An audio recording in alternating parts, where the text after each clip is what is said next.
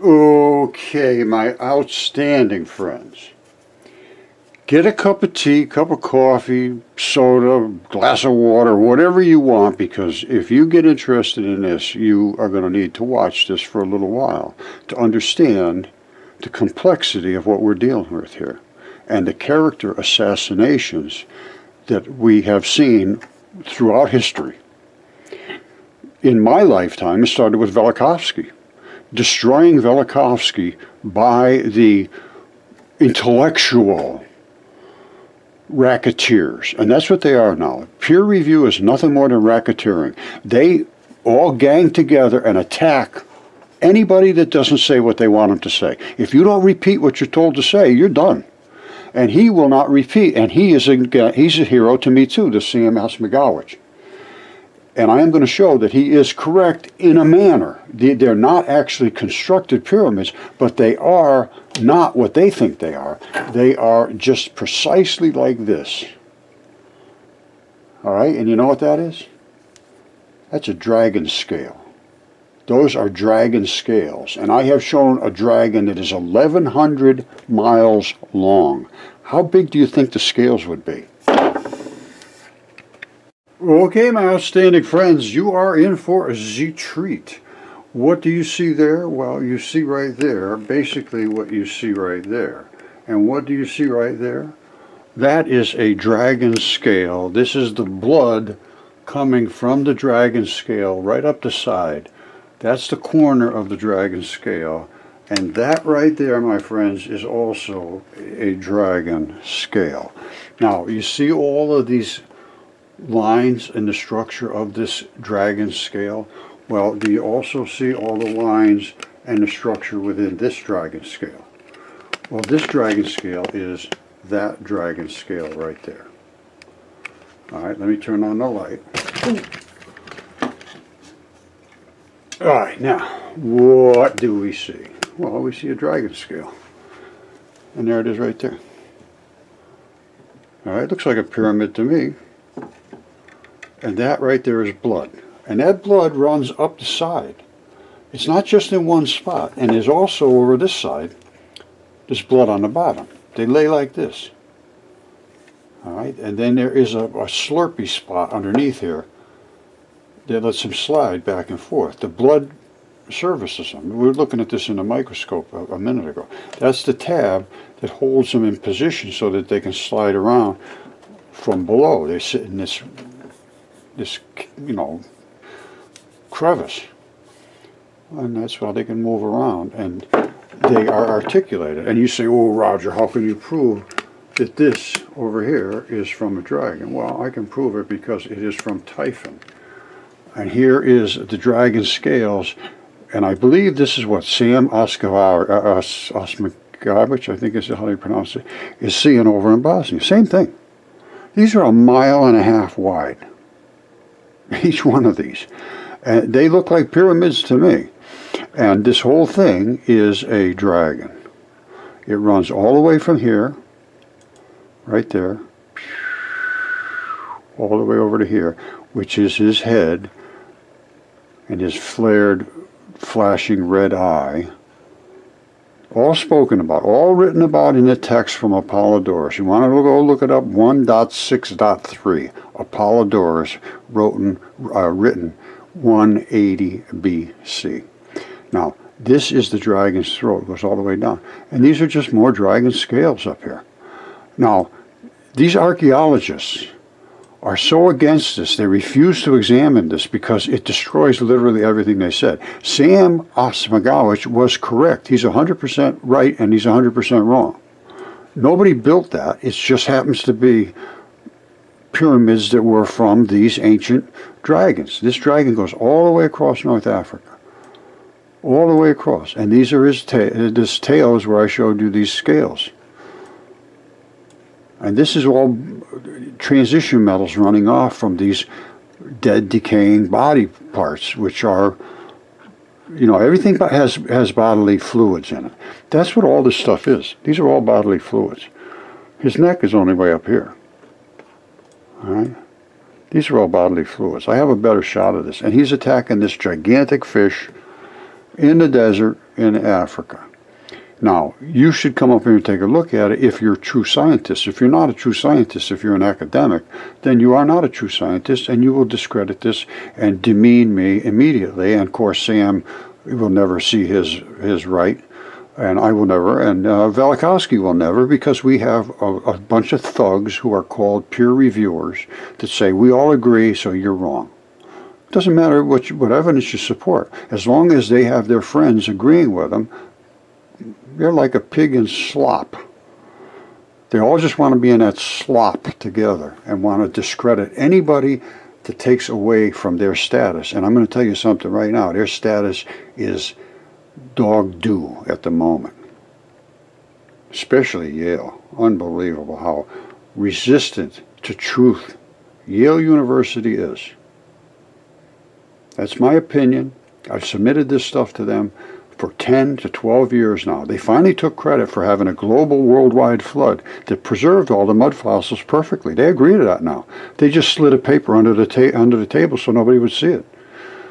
They put it out in 2016. It says that they were perfectly preserved biota, which means creatures and plants, in one single layer worldwide basic flood precipitation. They throw all these words in that don't mean anything. It was a global flood of salty waters and the the silicates, which are nothing more than these runoff of bodily fluids, created these nucleophilic substitutions, which made all of these mud fossils turn exactly perfect. One side's flat because there was a flood. They laid like this. I have my stuff as DNA tested and CAT scan and everything. And I have huge things. That is a that right there is a hair follicle.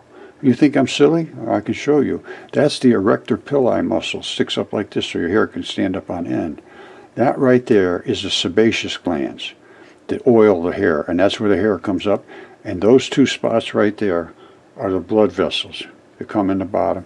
The hair goes right up there and comes straight up. And this is a curly haired person because it has a flat spot where it comes out. I, I, I, posted about this and I said, gee, it's kind of crazy because it's got a flat spot coming out. I thought hairs were round. And people could, chimed in. They said, no, no, I have curly hair and one side's flat. I never heard of that before. I'm just taking their word for it.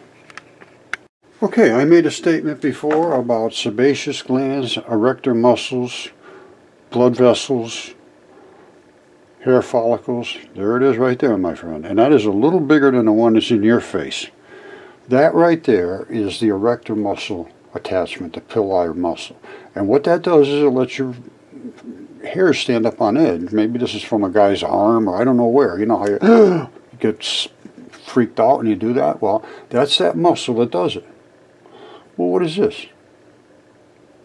Well, that's the juicer. That's the oily gland that juices the, the hair follicle, so the hair so that it slides out nice. What is that? What's those two little round dots? Well, guess what they are? They're right there. There's an artery and a vein. And what's this? Your hair grows down and then up. You see this? It grows from here down, turns around and comes up and that's the top where the skin would be around it but it's not all the way up here this is way down here all right and I believe this sebaceous gland has slid down with a bunch of slurpy with it. You can see it if you pay attention. This is supposed to be way up here. All right so it's not supposed to be way down here but I think it slid down because it's obviously here. Now is this wrong? I don't think so. I think it's right, but this slid down because I can see some goop around the edge here where all this might have come down together. I don't know. That's what I, but I can tell you right now, there's no question, zero question. That is a hair follicle, and it's, I figured it out right around 500 times what an average human being would be, which makes it a six foot guy would be 3,000 feet tall. That's, you know, pretty well fully grown.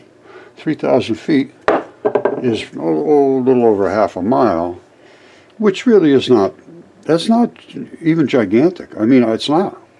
That creature, a half a mile creature, could be a tick on the dragon in Morocco. Thing's 1,100 miles long. 1100. This is only a half.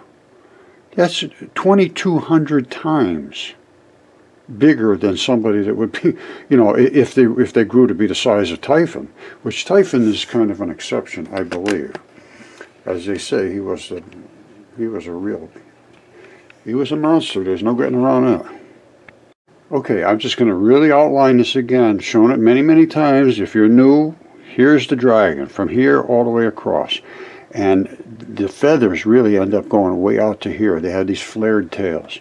Now, if you can't see it here, I want you to come up. You have Google Earth. This is North Africa, Morocco, Mauritania, all in that area. This is a fish. And he is spitting his stuff right down onto that fish to try to kill him. So what are we looking at there? This is what we're looking at there. Here he is right here. Uh, he's outlined. This is all his dragon scaled body. This is his dragon scaled throat. These are his winged, unkempt, furry, feathery, hairy body that was written about in Apollodorus. Read it 1.6.3, Apollodorus, from the BC era. They knew about these. These are on maps. He's shown on maps.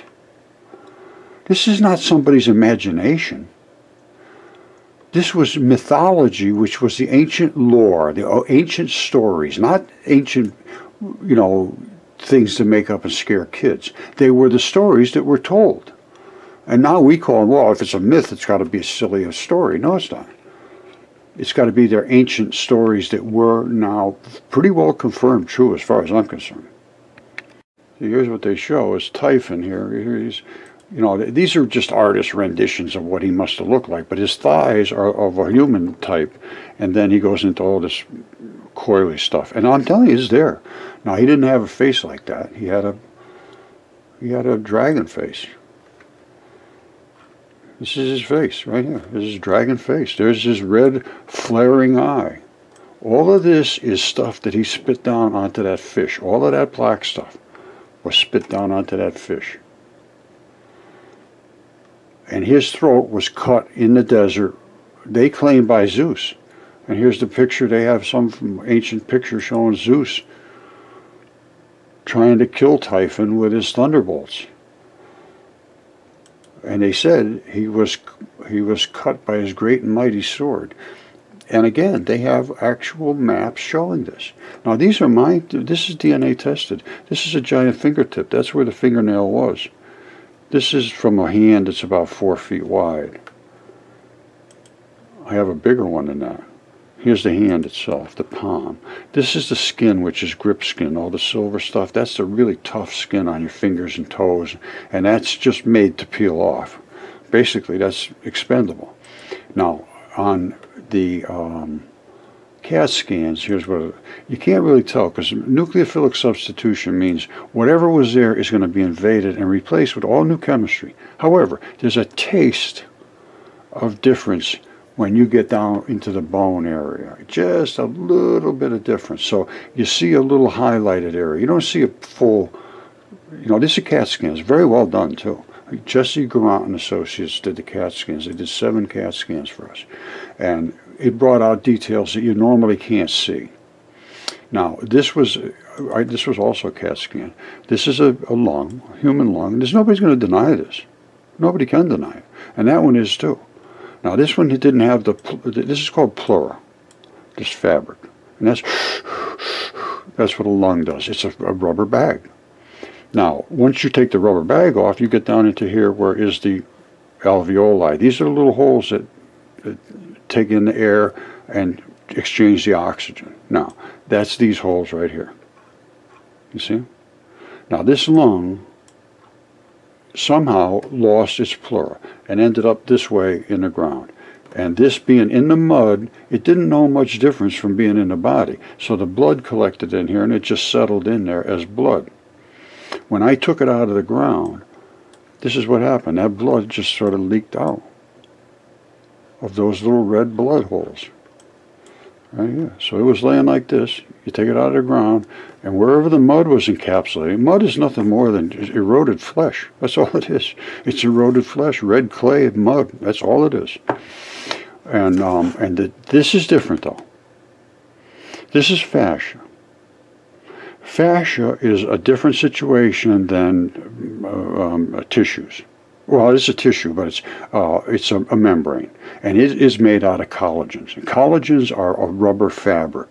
That fabric is prone to invasion by aluminum silicates. And those two, see this aluminum silicates, ALSI, right next to each other on a periodic table. For some reason, those two click together and bonded with the collagen and created literally rubber bags around all of these organs and so forth. All the other stuff boiled off. Even the bones. Primarily bones turn to um, turn into you know mud, but this one here didn't. This is a different. This one preserved in the mud fossil way, and I believe this one here is from one of the other body parts I have here. This is maybe a wrist bone or something. It's it's not big, but it's you know it's fairly good. It's much bigger than ours. And there was just blood coming out of this. You can get blood out of these all you want. There's blood is saturated with blood, and I mean saturated, because primarily the fingertips. You go into the fingertips and you got blood coming out of your earlobes. There's just blood gushing on them. That's where I took the blood and had it sent off and and um, tested, but I also took it out of the lung. The lung has as much blood as your fingers, but your fingers are absolutely saturated with blood. Absolutely saturated. And again, this was the lung. This is one I had tested. It's just completely, it was almost leaking blood out of there. It was as much as this one was. All right, now, um, and the DNA tests were very, very well done. 2015, it was fabulous. Now, this is what this is one of my rocks here. That is literally red flesh. This is a new body part. Not a, nobody knows about this body part right here. and I've checked with some of the top anatomists in the world. They say, oh no, that's just fascia. No, it's a new body part. This right here. This is is an interstitial latch. I call it the spurlock. and what is a spurlock? It latches one organ into the rest of the body. Let me see if I can find something. I have one. Oh, I got one somewhere. Here it is. You see this? Like I say, that is a lung. It's not a human lung, I don't think. It's nice and rounded and everything, but that is the latch right there. You see it? That's that latch. And that latch comes up to hold this lung into the body, whatever, wherever it was. That way there it can float around your body, but it has to come back to wherever the latch attached. And again, this is a lung. Now, I showed you the lung I have here and that has the same latch, and the other one does too, the one that it, it eroded away. That latch is underneath. Watch. This is this is a brand new body part. This latch right here. It's a latch. And it comes right off the end here. They don't they see it as all one big piece, but it's not. It's a secondary piece. And that is this part right here.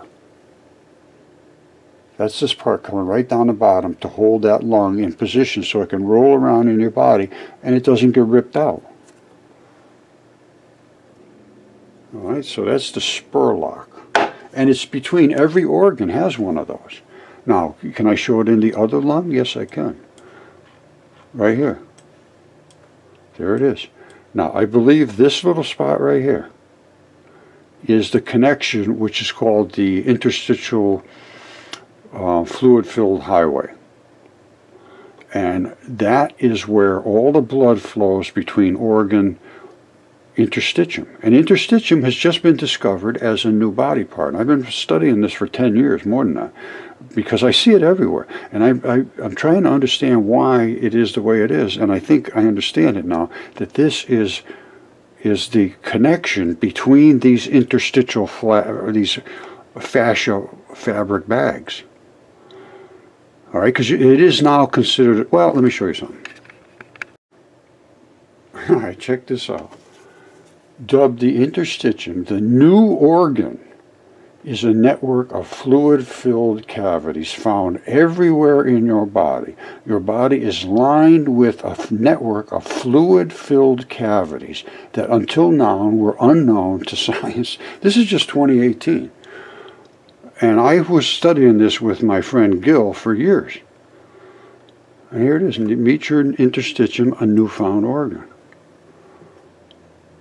All right, this is 2018. And here's this interstitium. It's part of your body. It coats all your organs, and I mean, it, it coats you and protects you from the rest of the world from invasion. That's what interstitium is. But it has to flow freely, and then it has to be accessible by that fluid-filled highway. And what I showed you here is that fluid-filled highway right there. I believe that's it. All right, so one has to connect to the other. Otherwise, they're a bag on their own. You're losing your interstitium. You're losing your fluid-filled highway.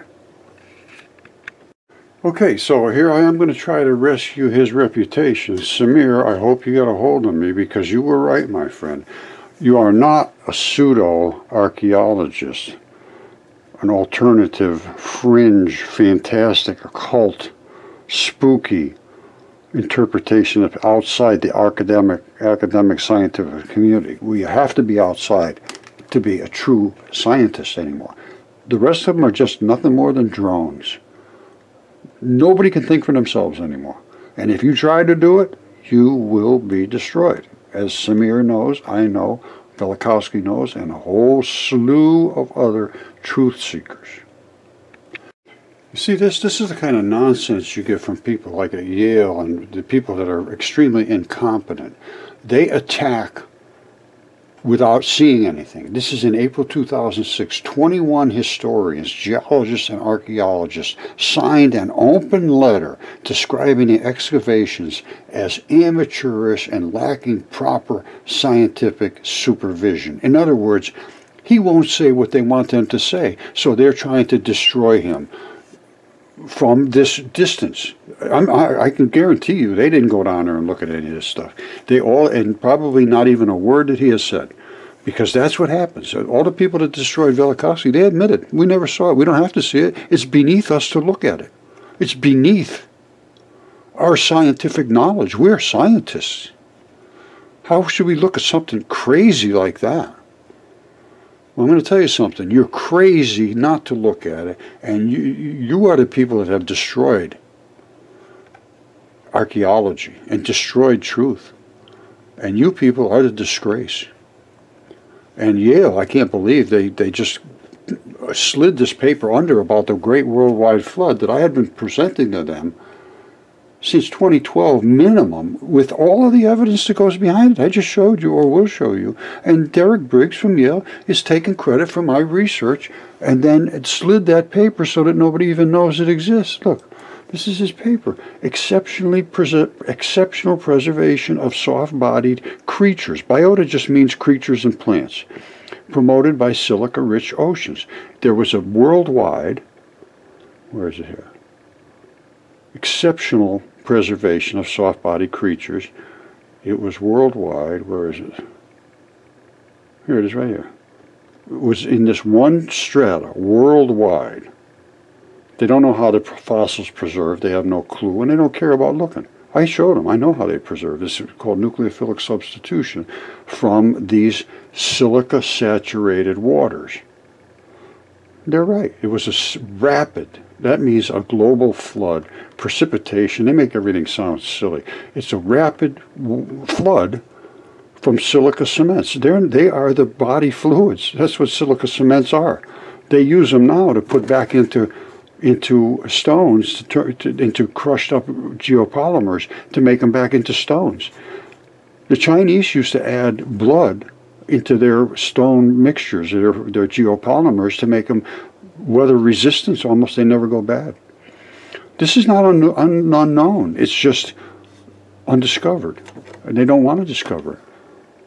Right? And this was a year after I, oh, oh, years after I had all that stuff done. And, you know, I, I think Derek Briggs, who is supposed to be a big hotshot at he's supposed to be the top guy, and he's right down the street from me, 20 miles away, and he refused absolutely still to this day, and is taking credit for this soft tissue preservation. He's calling his own name now. Ediacara style preservation. No, it's not. It's mud fossils. This is literally, I, I, I can't see it any other way. It's my opinion, but I'm, I'm saying this is fraud.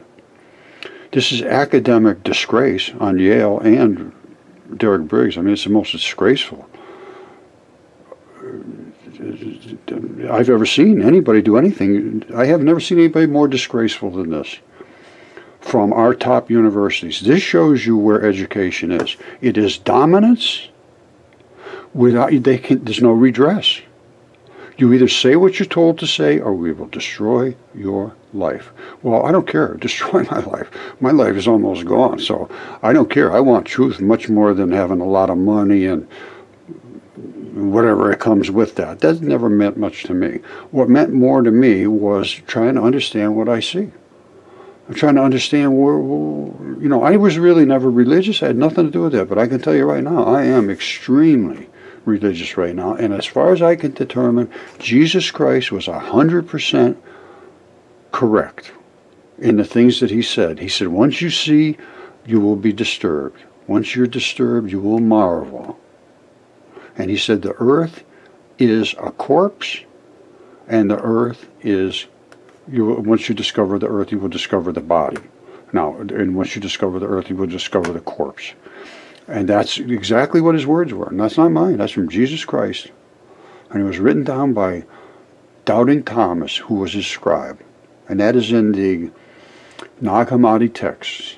These are new texts that they have found in these caves that were hidden because they were going to be destroyed. They, nobody wants this known. Nobody wants this known up till today. And this, this really strikes a very, very hard nerve in me as to why this is so fought against. How are these people being controlled? It's, it, I mean, it's a, peer review is nothing more than mob, you know, intimidation. Don't you dare come against us. We'll destroy you. And that's exactly 100% true. If anybody can deny that, deny it because they won't let you. I can't. I cannot. Um, I cannot publish papers. They will not let, let me publish papers. They won't let me do anything really. I can do it outside the system, just like like uh, Sam Osmagowicz is doing. He's you got to go outside the system. They won't let you into the system.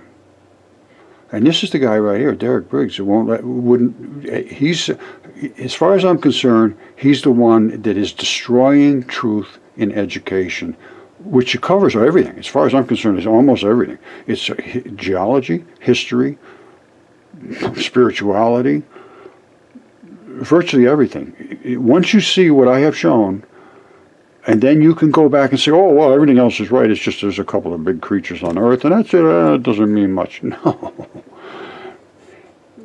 And Derek, I told you, buddy, this is going to come down on you, and it will.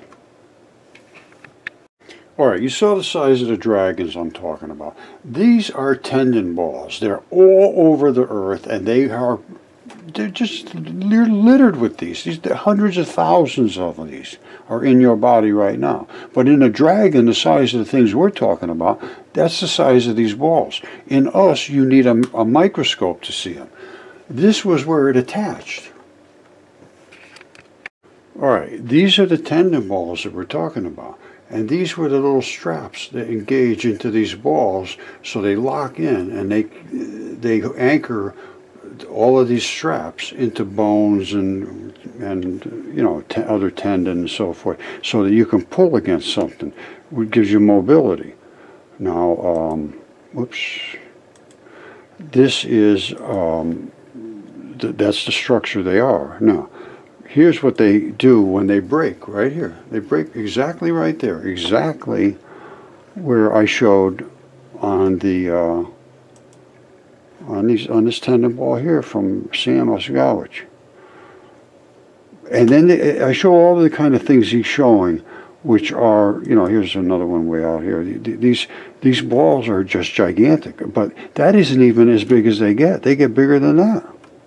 Believe it or not, it's just incredible. The things that were on this earth, I cannot account for them. I don't know how they ate. I don't know where they slept. I don't know how they got here in the first place. I mean, I'm, I'm searching ancient texts, and they give a lot of descriptions of how these things were and what they looked like and where they, you know, they, they talk about a lot of stuff. Now, these are the kind of things he's seeing, and he's saying this is a constructed thing. Now, no, it's not. This is literally what the body is constructed of is these little blocks and so forth. I had another one on here about a 200,000 year old, this one here. Whoops. Let me just show you something. All right, this is mystery history. They do some nice stuff. You see these these are dragon scales too. I'm almost 100% sure. I have found the blood vessels that are in the side where they put up those little arches over them. They um, they go like this to, to so it doesn't collapse where the the um, arteries were. And you see them, they're looking like they're going right down in a line. Now they're looking at all of these anomalies that are on the earth. Let me see if I can find another one here. Well, here's some right here. Whoops. All right, these are the same kind of patterns they were showing before. If I can home in on it. You see, these are, they're looking at these and they're saying, how did these crazy things happen? And then they see this and they say, wow. And then before that, they, they see these holes. That's, a, a that's an artery. That's an artery. And it goes right down between the membranes. And these are literally membranes and skin tissue and all kinds of stuff. I don't know what kind of creature it was, but it was big. And these are the, the lines in between. Now there would normally be some, which is called small leucine-rich proteins in us, which is a gooey substance that lets these things move around. Because that's what this would have had to do. It wasn't locked in position. It was, it was a, a fluidy, mobile thing. And the, it had to be sealed. Now what's, what's down in these cracks, what kind of material it is, I don't know. I would love to do some material analysis on that. That's what I do is material stuff. But these are the, these holes. Is wow, where these holes come from? Well, they're arteries. And then they're going to find blood in them and stuff. You see this? This is Petra. Where do you see what I'm going to show you in my next video about Petra? We're going to knock your socks right off your feet. And they had a whole batch of different places in Petra that they were doing um, all kinds of different construction on. Now, I'm not saying they didn't make any pyramids. I'm just saying that the vast majority of them were already here, and they just turned them into into uh, into what we call pyramids. Here's this guy, a giant, carrying two elephants over his shoulders going home for dinner, have a little elephant soup. And all of these things are not crazy. These are not crazy things. We are the ones that are crazy for not looking into it. And I, I'm not crazy. The people that we're allowing us to be dictated to, which is the professors at like Yale and places like that, you know, to, to me, I see no concern for truth. As long as you say what they say, you'll get your piece of paper. Truth be damned. Okay, so Samir Askabich there was, was right and he was wrong. It, it, it, they are not constructed by people. They might have changed something a little bit, just like they did in Egypt, to make them accessible as pyramids. The tunnels are where the blood vessels ran. They have the same ones. They have the exact same things in Egypt. And I just showed this the other day. I did a video on how they capped off. They put all these little angles in there like that so that they wouldn't collapse. They didn't put them in there for some decorative purpose. They put them in so they wouldn't collapse. And they claim that. They know that. Now, we need to... So anyway, Samir uh, is in the right area, but he's got the wrong idea on this thing. It does deserve to be looked into and all I've looked into his research, and he's looking into these plates that are on there and thinking, "Oh boy, they somebody constructed these." No, this this we need to look at this very carefully, and understand that it's biology, and the whole Earth is covered with them. I showed all of this stuff. If you didn't see what I showed, I can't help you. Now we're going to be we need to go into the notoes too, because this was a whole different species than us. You see this? This is the kind of there, there's the, the toes were built in, but not only were the toes built in, they had springs instead of of bones. We have bones. You see the bones coming down here? And we have this heel and we have this strap coming up. Well, this one has springs. No bones. There's the heel. And here's the strap coming up to our to the leg which would have come down here. And here's the strap that runs back to the heel. And we got a lot of these, all kinds of different ones in different states of of um, you know falling apart. This is this is the one here. This is mine. Confused? You should be. Um, this is from Tish Egerton. She found these. She took the 15 minute challenge, which I put out every now and then. I'll say, if you can't find mud fossils in 15 minutes, I want to know. She went out and found all this stuff in 15 minutes. These are new, well, I don't know if they're new species, but I can tell you what. These were these toes, I believe, were built in. And then it almost looks like a wing nut. You see that? If you look at that really carefully, look at that thing. That looks just like a wing nut. Like somebody bolted that up there. You see that? Look at that. And they have they have a soul on these things, almost like a soul. It, it almost looks like a soul. You see that? I had the same thing in here. there was something went in that right in that same spot. This, of course, is oh man, this thing's heavy. Or I'm getting weak. All right. Anyway, these toes were built right in, and they fall off like little sausages. Now let me show you something which is really cool. Watch this. Observe and learn. Now, what did I say? There were springs built in them. And what is this? Well, this is the thing I'm talking about. That's the heel. That strap right there went all the way up to the bone that sat down in this cradle. That There would have been a bone right in this cradle, something similar to this, running all the way up your leg. And this strap would have come right up to it to hold it down, basically to hold it to your heel. Now why is this wrinkly looking here? Why is that? I'll tell you exactly why. This is this is a tendon. What is a tendon? It keeps tension. Tension means it's pulling hard. When it snaps, it wrinkles. These are called the wrinkle zones. This is all wrinkled up here. All right, you see it? All, all that wrinkly looking stuff? That's because the tendon has untensioned itself.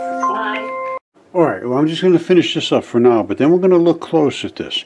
The things you need to look at is the different coloration of the growth. You say, well, what does that have to do with it?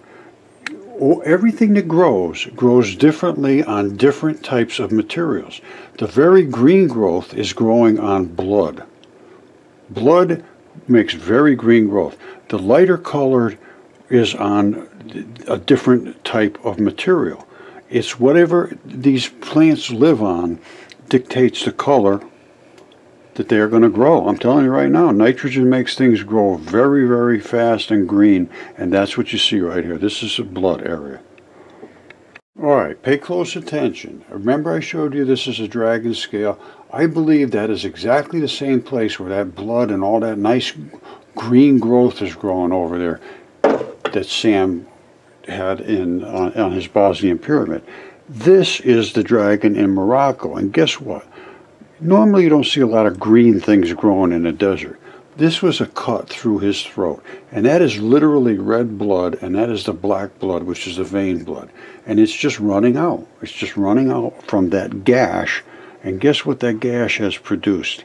The greenest of green things growing here in the desert. This is water coming through here. Water doesn't come through growing green like that. That's not your normal water just running out of there. That's because it was saturated with red blood. They sell blood meal. You know what else they sell is feather meal. Feathers make things grow very green as well. And in the desert, they do that exactly the same. See over here? These are feathers. And they're growing quite green. You see this? There, there's some kind of feathers going on out here. You see them?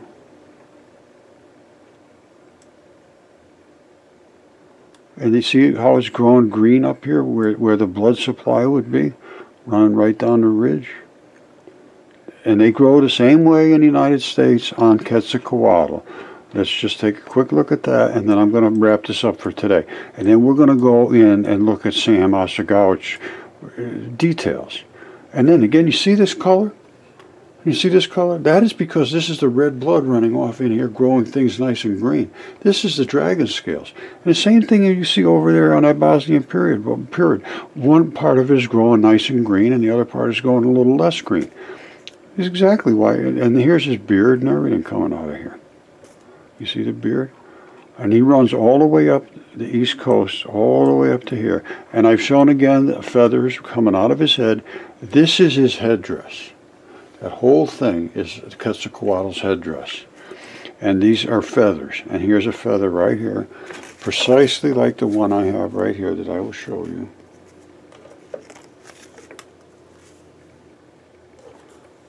Ah, let me see here. Coming right out of his head, out of Little Rock, is the feathers. You see it? There is no difference whatsoever between these two feathers, except one's bigger than the other one.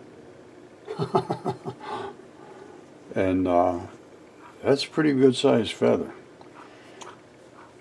And uh, that's coming right out of Quetzalcoatl's head, right there.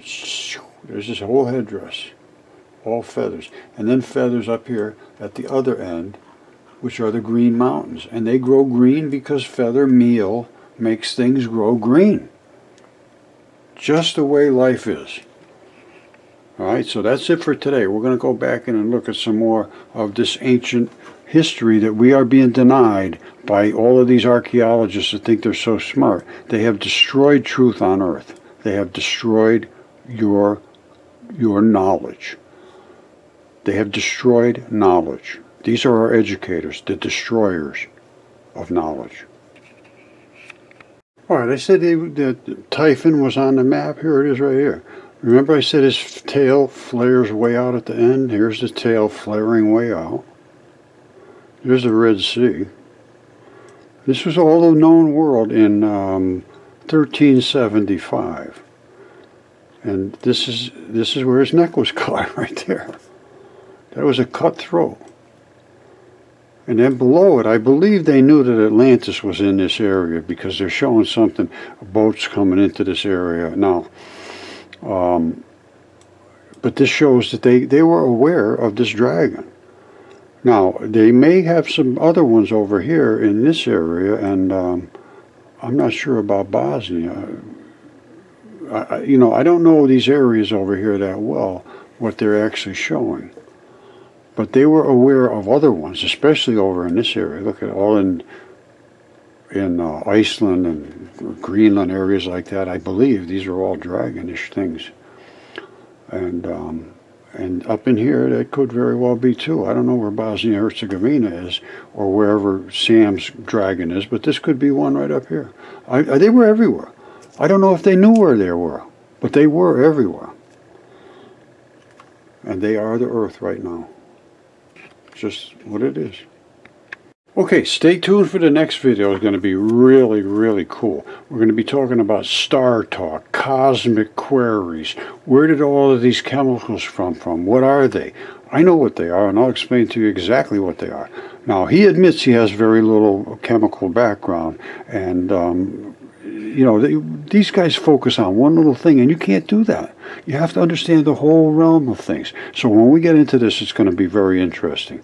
But like I say, the biology that's in space is no different than the biology that's here on Earth. As above, so below.